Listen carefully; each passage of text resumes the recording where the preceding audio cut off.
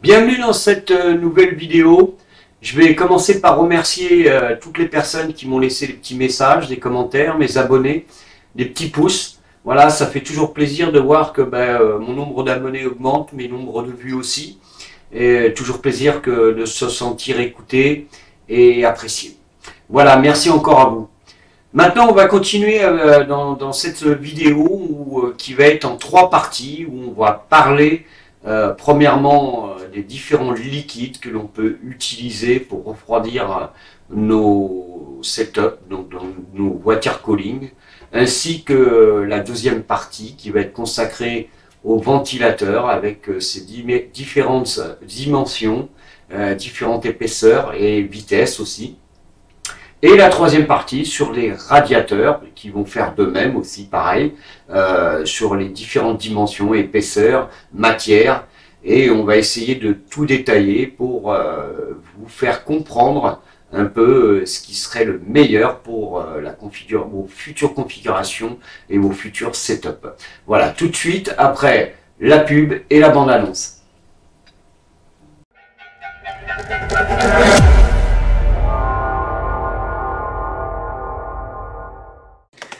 De base, nos waterblocks étaient refroidis par air, c'est-à-dire par airflow. Ils étaient constitués de plusieurs cathodes en cuivre remplies d'air qui elles-mêmes surmontées d'un radiateur en aluminium qui lui-même surmonté d'un ventilateur. De ce fait, le ventilateur tournant venait refroidir ce radiateur et par conductivité négative venait refroidir ces fameuses cathodes et refroidir aussi l'air à l'intérieur de, ces cathodes et aussi refroidir bien entendu notre processeur.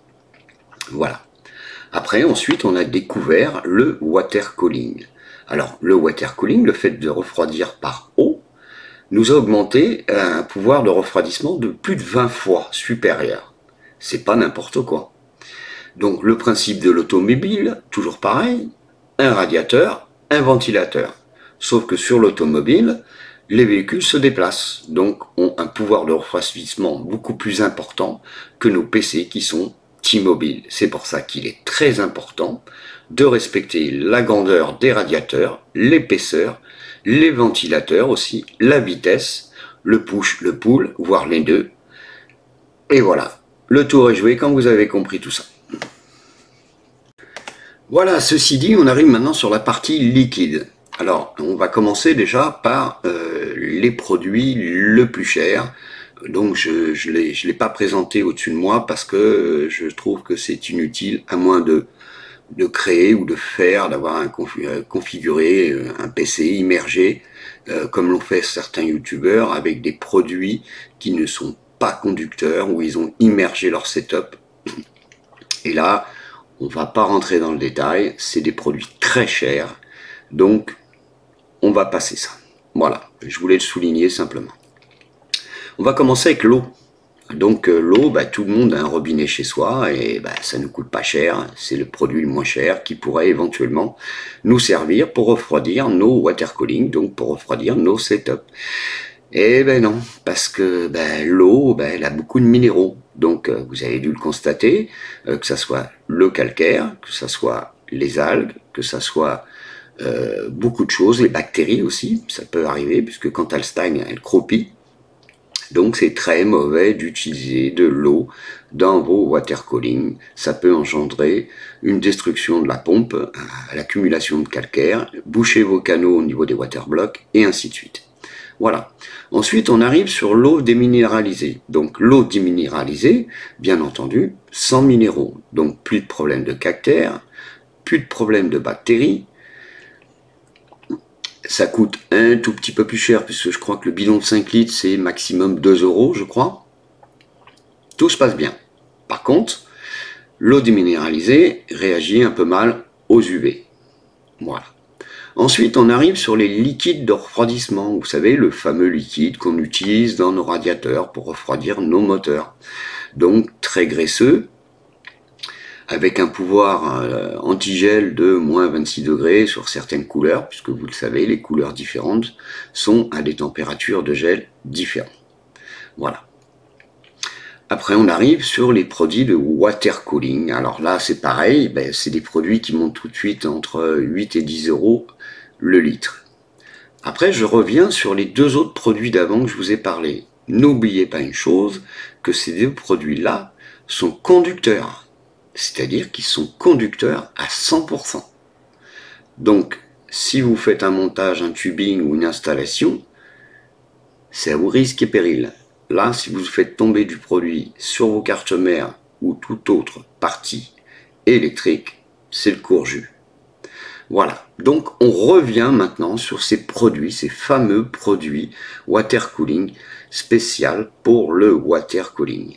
Ces produits sont donc à une conductivité très basse.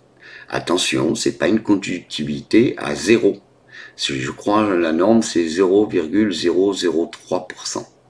Donc c'est quand même conducteur. Je tiens à le préciser.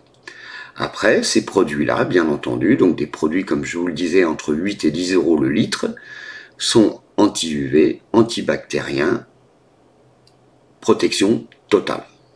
Voilà, différence de prix. Donc on, part à de l'eau du robinet euh, qui nous coûte 10 euh, centimes le, mètre cube, je sais pas. Et on arrive sur de l'eau déminéralisée où on arrive avec un bidon à 2 euros.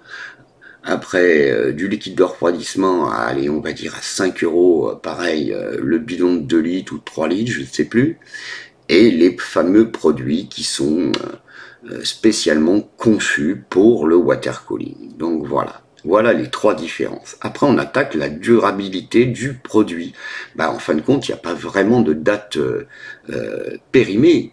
C'est à l'utilisation et à la non-utilisation de vos setups. Vous le voyez bien de toute manière dans vos tubes. Si vous voyez que votre liquide a du mal à avancer ou qu'il a une couleur différente ou qu'il devient un petit peu plus opaque et ainsi de suite, voilà, c'est comme ça qu'on juge, qu'on change euh, les liquides de nos bébés, où on fait le plus ou moins attention. Alors il y en a certains qui le font tous les six mois, il y en a d'autres qui le font tous les ans. Voilà. Après, on va revenir aussi sur les produits euh, water-collés, c'est-à-dire les produits euh, les plus courants, les plus chers. N'oubliez pas aussi qu'il y a plusieurs produits, c'est-à-dire au niveau des colorants, au niveau de l'opacité de vos produits. Ne prenez surtout pas des produits opaques, c'est-à-dire des produits qui sont pratiquement, euh, c'est plus du liquide, c'est très épais. Il ne faut surtout pas prendre ces produits-là. Ah oui, c'est très joli, j'en ai même vu où il y a des paillettes dedans. Effectivement, quand ça bouge, c'est très beau. Hein Mais le problème, il ne faut pas oublier, c'est qu'il y a un déplacement de chaleur, il y a un déplacement calorifique dans le water cooling. Alors vous allez me dire, c'est pas des températures extraordinaires, puisqu'en moyenne, la température de l'eau dans vos water cooling est entre 40, voire maximum 50 degrés. Mais à durabilité, ces produits s'épaississent encore plus et deviennent ce qu'on appelle deviennent du caramel et font des dépôts dans vos angles, dans vos canaux de waterblock et prennent de l'épaisseur. C'est pour ça que sur les produits épais, il arrive que justement des gens ont des grosses surprises, soit par euh, une canalisation bouchée, donc un tubing qui n'avance pas, une pompe euh, ben, qui commence à avoir des coups parce que justement augmentation de pression et ainsi de suite et ainsi de suite et ainsi de suite. Voilà les amis, donc évitez les produits opaques, le plus clair possible, le plus simple, ça évitera tous ces petits soucis. Voilà. On arrive maintenant sur la partie ventilation. Et là, comme vous le voyez au-dessus de moi, un ventilateur, donc avec un sens d'entrée et un sens de sortie, un sens d'aspiration et un sens de rejet. Pourquoi? Alors, je vais vous expliquer, bah, c'est simple, parce que au niveau euh, d'installation de ventilateur, il existe trois moyens de montage. Voilà, il existe le push, donc un seul ventilateur monté sur un radiateur qui va pousser l'air. Après, un autre système où là, il y a le pull, où on tire, on extrait de l'air de l'extérieur pour le faire traverser à l'inverse sur le radiateur. Et le troisième modèle où on utilise les deux pour combiner une force euh, de refroidissement calorifique beaucoup plus important, généralement utilisé pour euh, des tables de bench, pour avoir un résultat optimal. Ensuite, il faut savoir aussi une chose, c'est que généralement, un ventilateur qui tourne à 1000 tours minutes, c'est déjà très bien. Il n'y a pas besoin de monter au-dessus. Pourquoi? Il faut savoir une chose, c'est que euh, il y a certains ventilateurs qui montent à des 1500, 1800, voire 2000 tours. Il faut pas oublier que plus vous allez augmenter les tours en minutes, plus bien entendu vous allez avoir de débit, plus vous allez avoir de turbulence et plus forcément vous allez avoir de décibels, donc de bruit. Voilà. Après, il y a le nombre de pales aussi qui, qui augmente, qui peut augmenter, euh, euh, qui peut aller très loin. Je crois que j'en ai vu, il y en a 16, 18, 20, bref. Euh, après, il y a l'inclinaison. alors, si on calcule tout ça, on sait même plus où on habite. Et je parle pas du RGB, du 100 RGB. J'ai pas parlé aussi des épaisseurs. Alors ça, c'est une histoire de fou. Bon, c'est simple. Hein euh, vous regardez par rapport à l'épaisseur de votre radiateur, vous adaptez euh, l'épaisseur de votre ventilateur à des vitesses variantes entre 1000 et 1200 tours, ça suffit très largement. Vous regardez les spécifications de vos ventilateurs, aussi bien sur le nombre de mètres cubes euh, déployés, aussi bien sur le nombre de dB et le nombre de pales aussi, et vous voyez tout paire, comme je vous l'ai toujours dit, quand vous regardez, vous commandez du matériel, vous prenez déjà, si vous n'y connaissez rien, vous prenez du matériel qui est déjà confirmé par euh, des gens qui ont déjà acheté ce matériel et qui confirment que effectivement ce matériel ne fait pas de bruit, il est très optimal. Voilà, c'est la meilleure façon de choisir son ventilateur. Après, il y a d'autres euh, youtubeurs comme Pax qui nous a fait une très belle vidéo sur ça, euh, sur un système de ventilation, je me rappelle plus quel modèle, où en deux ou trois secondes, il, euh, gonflait un sac de 150 litres.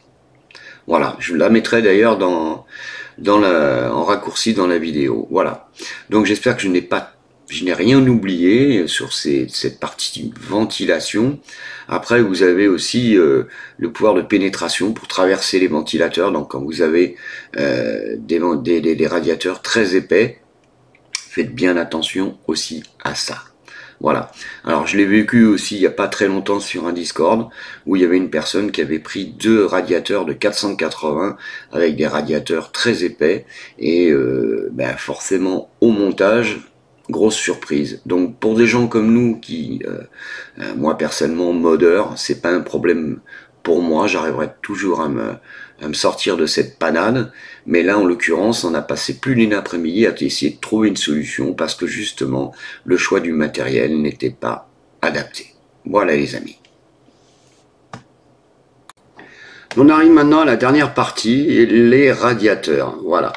Donc vous avez deux solutions sur le water cooling, soit prendre des ensembles en IO tout fait, où là vous n'avez pas besoin de vous prendre la tête, vous prenez des ensembles euh, qui sont munis d'une pompe, d'un radiateur et d'un ventilateur, et il y a juste à monter, après avec des prix tout à fait raisonnables.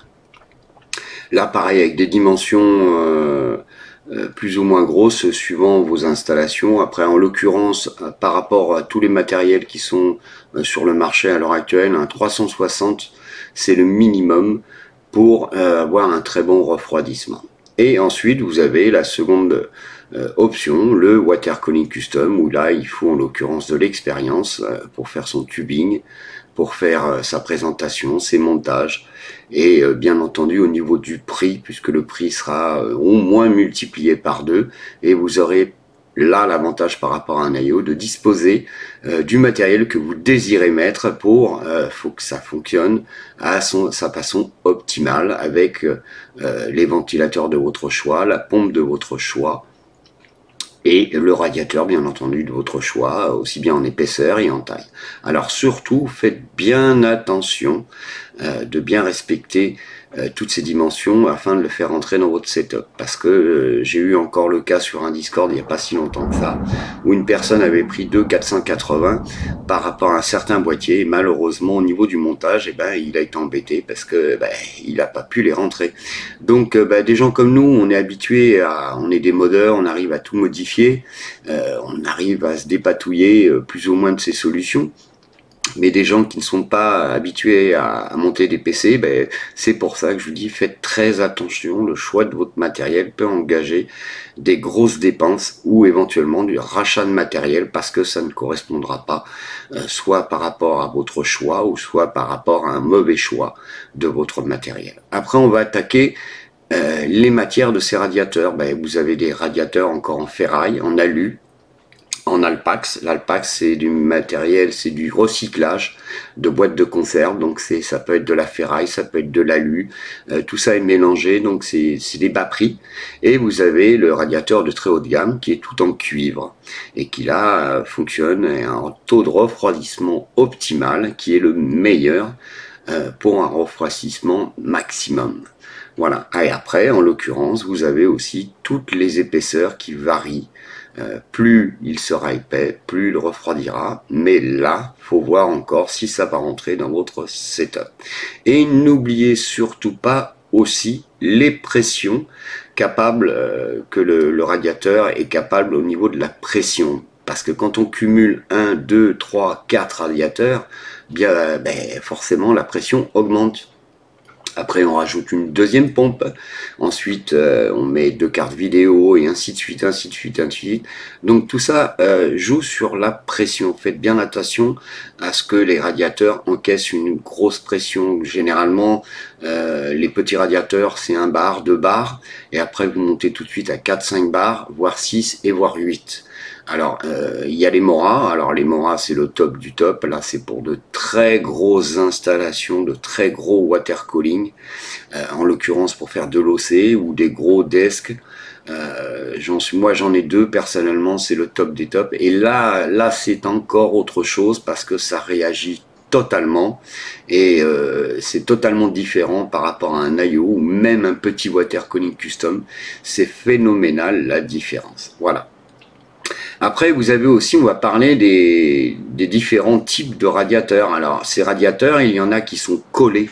Ça aussi, ça joue sur la pression parce que, bien entendu, à long terme, ça m'est arrivé euh, dans le passé à ce que ben, euh, ces, radiateurs euh, aient des fuites, puisque ben, quand c'est collé, arrive un moment, la colle, eh ben, à fur et à mesure de balancer beaucoup de pression, comme je vous le disais, accumuler plusieurs radiateurs plus de pression et arriver un moment, ben, euh, avec le temps, ben, euh, cette colle euh, n'est plus efficace et ça arrive à un dysfonctionnement du radiateur, donc une fuite.